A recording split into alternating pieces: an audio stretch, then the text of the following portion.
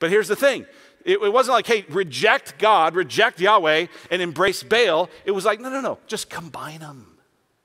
Just combine them. And that's what I want to tell us is if we have ears to hear what God is saying to the churches, this is the danger. It's not that we just reject Jesus for other things, but it's that we combine Jesus with other things. Where we say, the number one thing I live for is Jesus and my family. Well, which is it? We start to combine faith in Jesus, but, but, we say we rely on Him, but really we rely on our bank account. We say our allegiance is to Jesus, but actually we're a slave to our sexual appetites.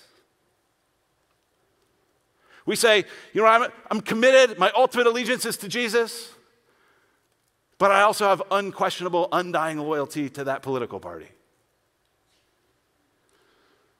And Jesus and Jesus plus Jesus with. And that's what Jesus is going, hey, I got a problem with that. I don't want you to tolerate that. It's Jesus and Jesus alone.